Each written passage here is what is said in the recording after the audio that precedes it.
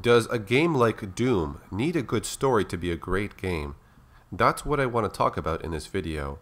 With all the hype around Doom Eternal, I wanted to talk about one key factor in this upcoming game, and that is the incredible story that is being continued from Doom 2016. We got a very interesting story in Doom 2016. The lore in this game was a very creative and original idea, giving us a small look into the Sentinels the Seraphim, the forces of hell, and the Doom Slayer's past. The lore of Doom 2016 says a Seraphim would bestow the Doom Slayer with terrible might and speed. He would continue with his crusade and crush the pillars of the blood temples. He showed no pity upon the beasts. He was unbreakable, incorruptible, unyielding. The Doomslayer sought to end the dominion of the Dark Realm to eliminate every demon he could find.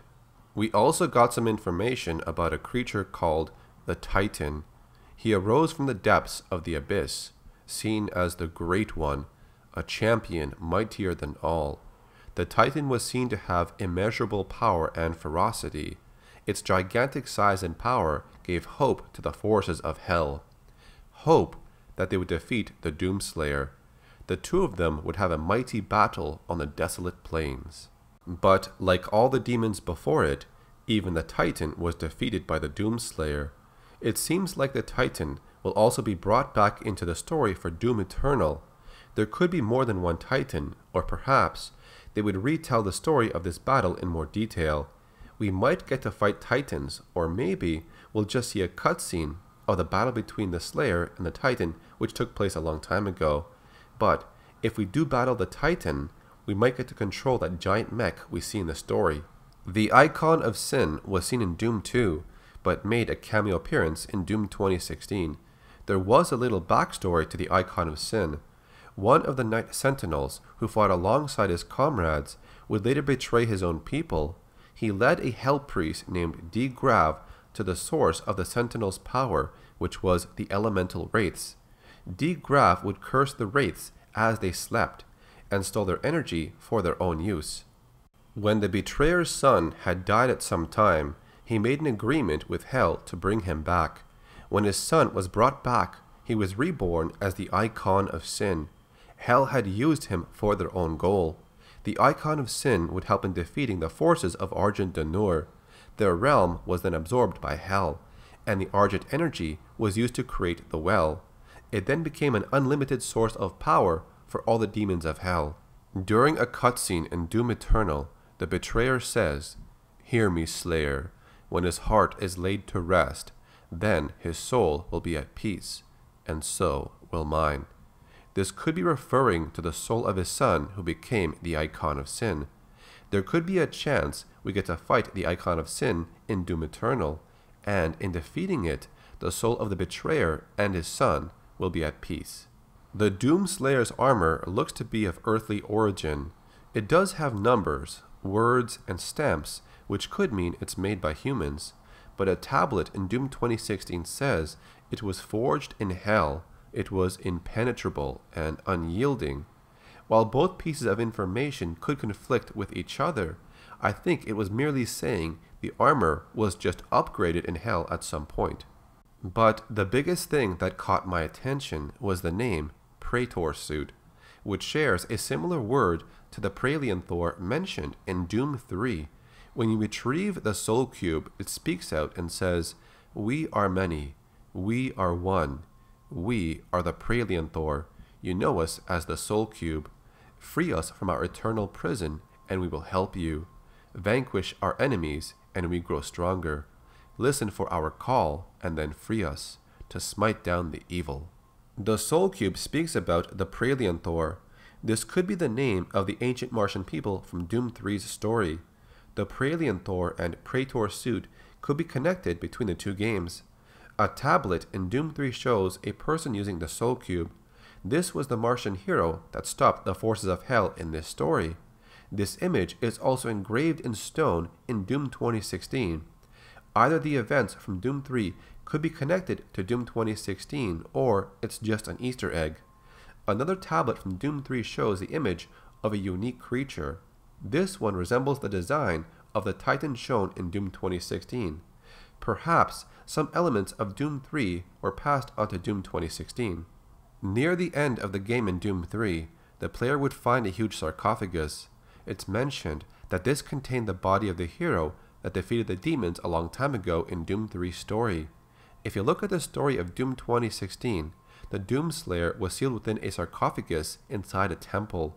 I'm not saying they are the same character, I'm just saying this could be another coincidence, that both characters disappeared in a similar way. Maybe Doom 3 had some ideas that were passed on to Doom 2016. A lot of fans might not know this, but the original Doom game from 1993 was supposed to have a huge story. According to the Doom Bible, which was written by Tom Hall, it was supposed to be the layout of what Doom would be in the end. Each episode would have information which described the story that was unfolding. The original story was very different from the final version, as you can see. If we look back at the original Episode 1 introduction in the Doom Bible, it mentions there were other characters playing cards with you in the hangar bay. This was not seen in the final version of Doom in 1993. The game did go through various versions of updates. Now, one of the early versions did include this scene from the Doom Bible. You would see other characters that look like the Doom Marine, all of them playing cards together, right before the enemy starts to attack them within the base. There was also multiple characters planned for the original Doom game. Cutscenes were also going to be included, this would have made Doom from 1993 a slightly different game than it turned out to be. You would still have all the action, but alongside that, you would also get a story and cutscenes. But all of this was later cancelled because John Carmack felt the story was not required for a game like Doom. He felt it would take away from the pace of the game. Instead, all we got was a single page of text for the endings. The Doom Bible was supposed to be the base for all the ideas implemented into Doom, but even John Romero wanted a game that was more brutal and fast. This led the team to focus on action and less on story, so the entire plot that was written up in the Doom Bible, which includes the story, multiple characters, and cinematics, were all dropped. The final version of Doom turned out to be a run and gun shooter, going from room to room, eliminating demons and finding keycards to access other areas. Despite how it turned out in the end, I was actually really curious how the cancelled story elements would impact Doom in the end. Do you think Doom would have turned out better if it had all these ideas intact? Let me know in the comments section. Now, if we look at Doom Eternal's timeline, it takes place after the story of Doom 2016. Earth has now been overrun by the forces of hell. Demons run rampant all across the planet. And now, the Doomslayer has come to Earth to save the human race from complete annihilation. Doom Eternal will expand on the lore by introducing more characters and more story elements. The various trailers have brought us more characters that fit into the expanding lore of Doom Eternal, like characters from heaven, which could be the Seraphim. Because the word Seraphim is linked to angels, King Novik of the Sentinels does say, If you continue, you will bring down the heaven's wrath. This could be referring to Khan Maykr, since her appearance is very angelic, yet robotic at the same time. Now it makes you wonder if the tablet in Doom 2016 said a Seraphim bestowed power upon the Doomslayer, then there could be more than one Seraphim character in Doom Eternal. We also got to see a new character called the Marauder, which has quickly become a very popular character amongst the fans. While his entire story is not yet released, we only have speculation about who he is. During the trailer, he says to the Slayer, you are nothing but a usurper, a false idol. The word usurper is given to someone that takes a position of power by force. The book about the art of Doom Eternal does give us some insight about this topic. It shows some alternate designs for the night Sentinels, and one of these designs shares a lot of similarities to the Marauder. So, if the Marauder was a night Sentinel in the past, that would mean he is implying that the Slayer is trying to take power of the Sentinel's top position. Maybe the Slayer is not directly trying to do this, but the Marauder might see the Slayer's actions in this way. So, why is the Marauder looking different now? Well, this new design seems to lean towards the idea that he is a corrupted Knight Sentinel. For now, we don't have all the details on this story, but this could be the most believable theory about him. After looking into the story of Doom 3, Doom 2016, and Doom Eternal, I can say, in my opinion, a good story is a great addition to a game like Doom, but I am curious to know what you like in Doom. Do you prefer it focusing on just the action or both the story and action? Tell me in the comment section.